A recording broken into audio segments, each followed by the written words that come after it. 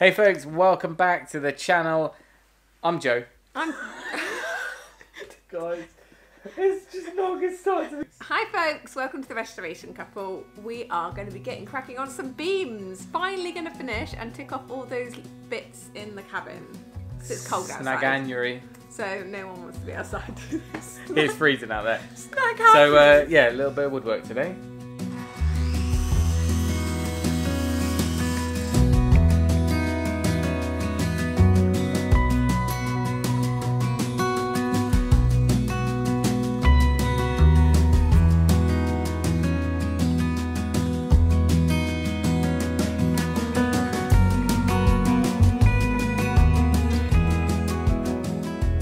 Plan is to install some timber beams or kind of feature uh, sections in between each of the areas of this open plan area.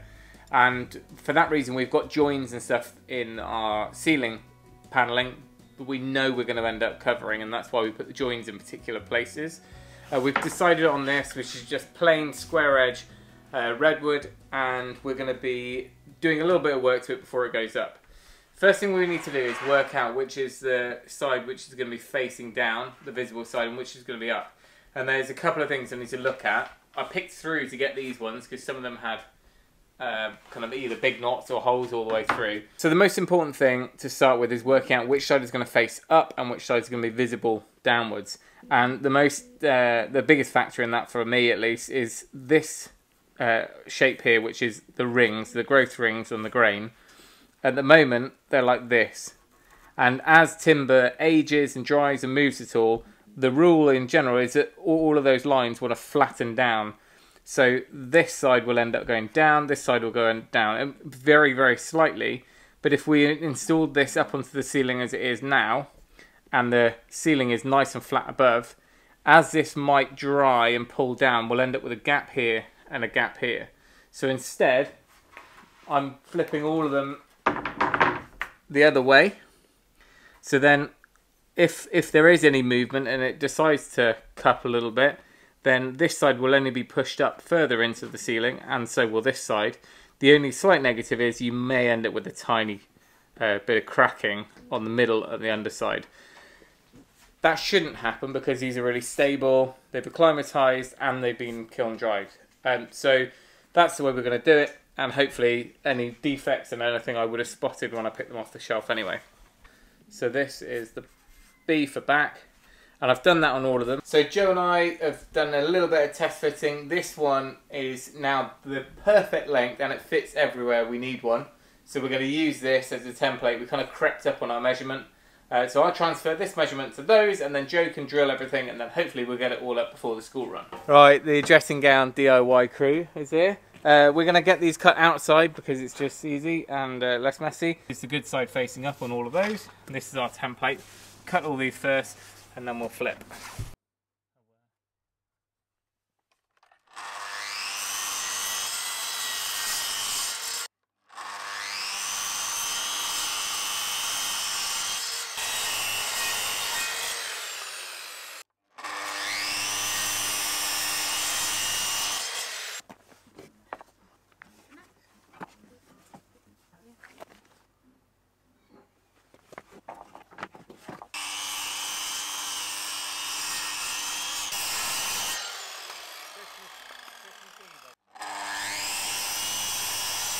Alright, back in the warm. The rest of it we can do in here on the dining table and make a mess.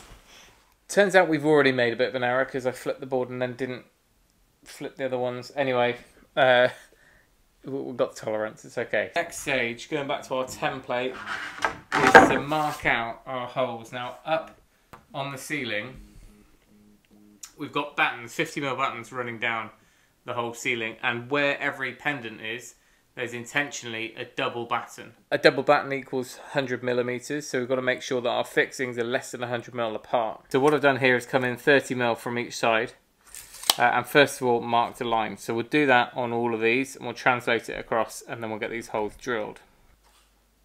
Which is there. Try and do everything at once. So we'll square across, matching up with the one below, and then we'll do a tick at three these are exactly exactly 12 centimeters wide, so a tick at 9. Then there are two holes. Now the way we're going to do this is instead of using filler or having visible screws, we're going to try and plug them. And in order to do that, I'll just show the camera. This is a corresponding bit that you get with a plug cutter and we'll cut the plugs in a minute but first up we're going to use this so we've got a 4 mil uh, sorry a 3 mil pilot in there.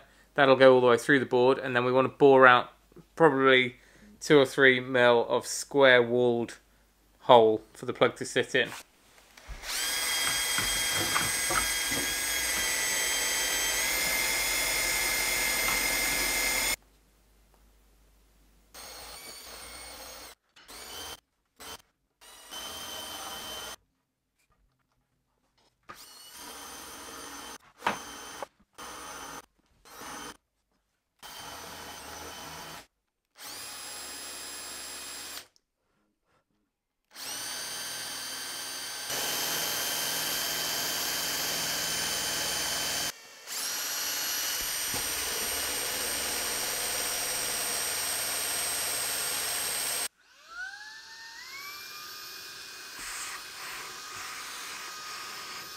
So the next bit of dining room carpentry is to plane off the edges, just give it a bit of a chamfer like we've got on this big glulam beam up here. I'm not going to bother with a router, I'm just going to do three, I think it took four passes with a block plane and uh, or bench plane and it just kind of gave a nice angle.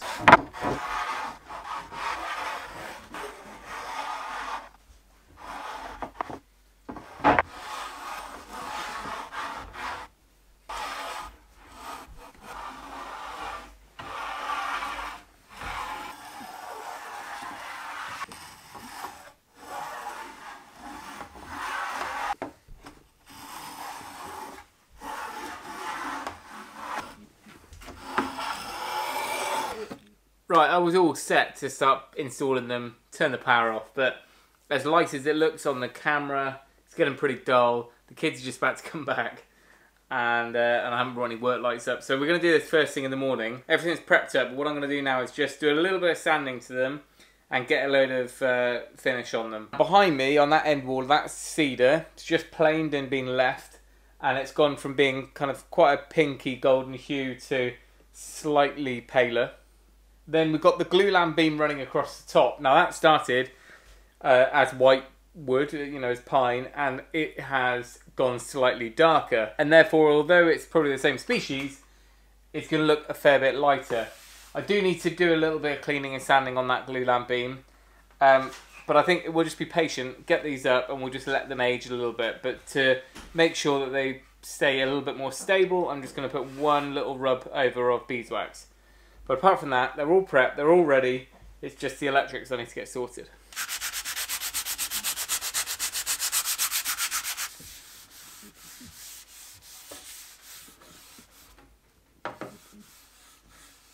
Now one of the reasons for getting some finish on before they go up is because I don't really want to have to mask the ceiling and although it's a clear finish, if we got it anywhere near that blue paint, uh, it would go shiny and show up. So I'm going to make sure that the sides are finished and I'll put a coat on the middle anyway.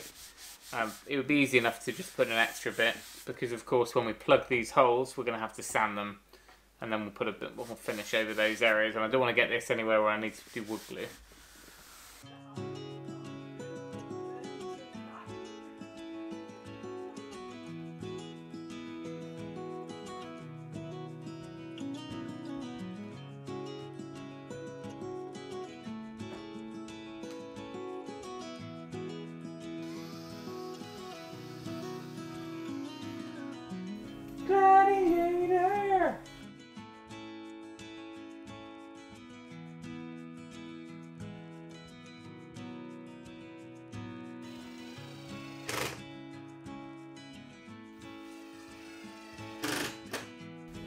If we've hit a cable, I want to know which beam it's on, so we're going to check each one after each install rather than wait until the end. Yeah. Yeah, it might not be turned on on the switch. I hope. Hurrah. Okay, so turn them all off again. And I'll work out where's the pencil.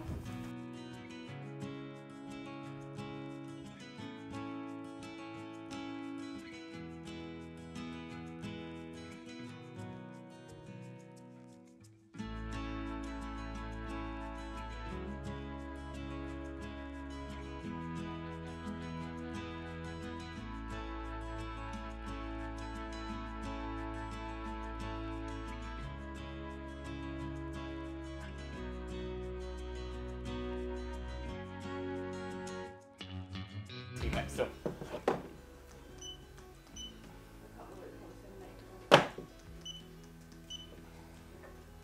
One six seven.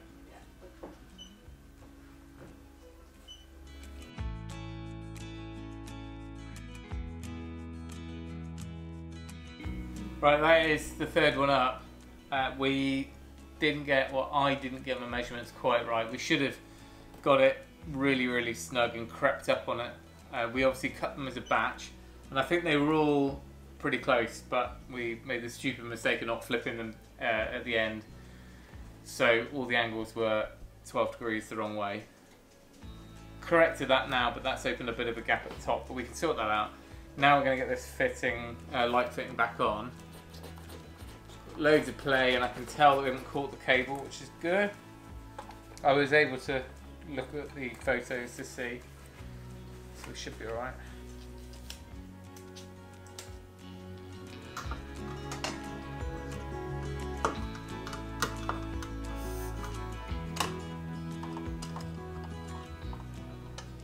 This was the challenge. Get the, get this beam up and fit. We've And back on.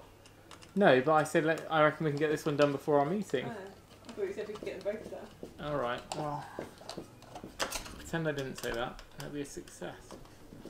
Right, with all those timbers now fixed nice and neatly to the ceiling, the lighting all wired back up again. Now we've got to go and do the important bit, which is making all these plugs. So stick around. Let's head down to the workshop and see if we can find the tools that we need. Sorry, as per usual, bit of an interlude there. Bizarrely, the piglets seem to have uh, become very affectionate to the ram, as they as you do. Now, some of you sometimes ask why do I whisper in my videos or talk quietly when I'm outside. It's because the goats at the moment. The goats are next door. They've heard us. So excuse that. I'll try and uh, talk in between their noise. Now, because we use redwood, this joinery grade softwood for the main beams, we're going to be using exactly the same. We're going to use the offcuts for the plugs, and then hopefully we'll be able to line up the grain to a certain degree. So we'll get the plug cutter set up. Now, the plug cutters, um, I should have really used a smaller one, but I couldn't find the corresponding um, countersink bit. So that's why we went up with that. I think it's probably 10 mils. It's a bit bigger. So this is the one we want to use, and this is going to cut a plug which should fit the uh, the same size bit that we've already drilled for those screws. Now this is a, a, fair bit more work than just slapping a bit of filler on there. Of course, if you're painting, that's that's a obvious thing to do. But if you're trying to just leave it waxed like we are, you just wouldn't get away with it. This size hole at least. Maybe a little pin hole from a brad nailer you would. But... Right, I don't have a depth stop, it's all snapped off but what I've set it to, set the table to mean that we're drilling almost all the way through, but importantly not all the way through.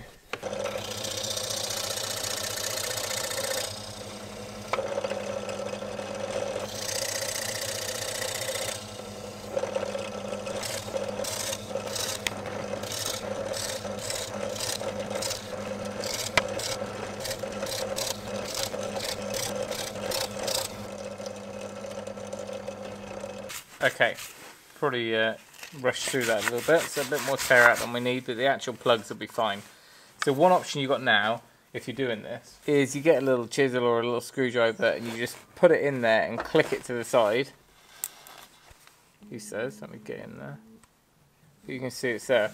We need them a little bit longer, not the full depth because we didn't drill them that deep. But we'll now take this to the bandsaw and see if we can cut this excuse the neglect, the rust, the general state of things. We want to move our fence across.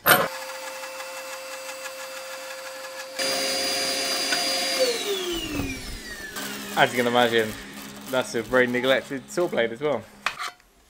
There we go, we'll pop these back in. So now we've got all of our little plugs, all pine grain, exactly how we need. Right. I'm chisel that's not too battered, so normally one that is not used much. Half inch chisel, looks pretty good. I'll give it a quick touch up on another rusty neglected tool.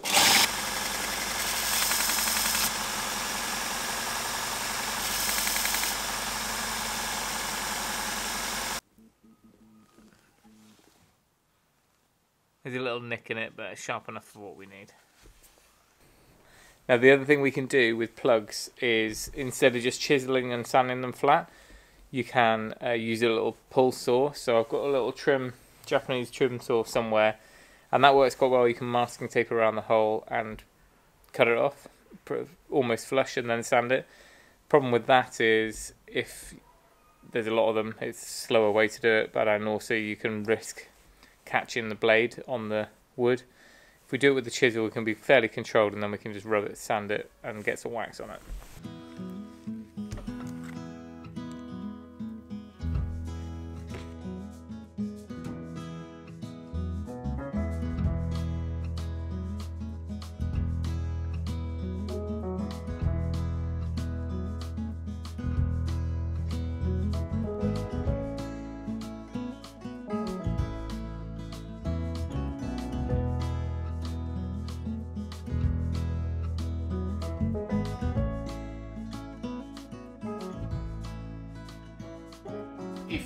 If you if you're too greedy and you try and chisel it off too much in one, you can end up chipping out beyond the level of the, the wood. So we want to just be really gradual.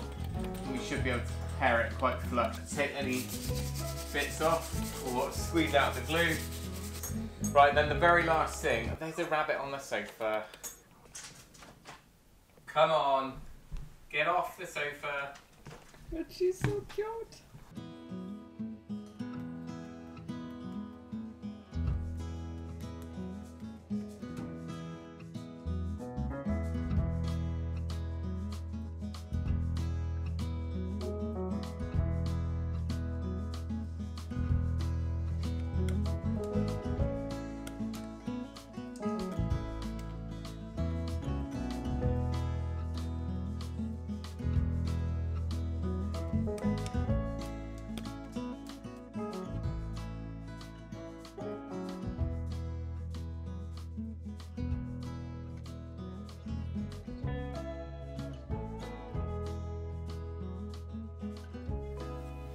Right, there we go. Everything is nearly prepped, ready to put a bit of the beeswax on. The one coat that I put on here looks fine and I'm happy with that. And what I'll be doing in the next week or so is just going over and sanding that whole glulam beam because that's just weathered from when it was sat in the elements. It went up and it never changed. That's why it's got some watermarks and bits and bobs on it.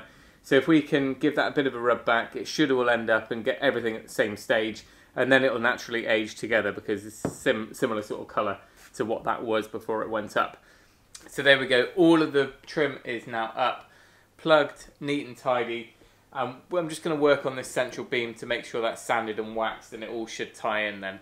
Now we've got all of these boards up, it means that all of those nail holes, the joins, anything like that in the cladding on the ceiling is now completely covered. So getting them painted first, then installing them, then putting this trim on was the best way to go. Also, if you've used the plug cutter, I found that you you really need to kind of make a note of the grain on it. I probably used a bit too much of a simple board when I cut those plugs. I had all those offcuts. I sh should have picked one with a little bit more figure in it because some of these boards are more grainy than the plugs, so the plugs show out as being a bit plain. But that's me being fussy, and it's well above our heads. We're not really going to see it. Anyway, I think we're done. Are we done? Yeah, we're done. Joe had Battery's to. low. Joe had to uh, take a, a step out of this one because there were ladders involved. I don't know. I was up on those work surfaces. True, you were. A vintage ladder as well. Some of you will comment on that, no doubt, but you know, use what we had to hand. We'll leave it there. If you've got any questions on it, let me know. I think I'll try and dig out the oak plug video from a few years back when we did the sliding door. Remember that pocket hidden door in the oak porch uh, because that showed things a little bit closer up. It was a lot easier to film because it was at waist height. Anyway, we'll leave it there. Thank you for watching. Remember, if you can, do it yourself, and we'll see you next time.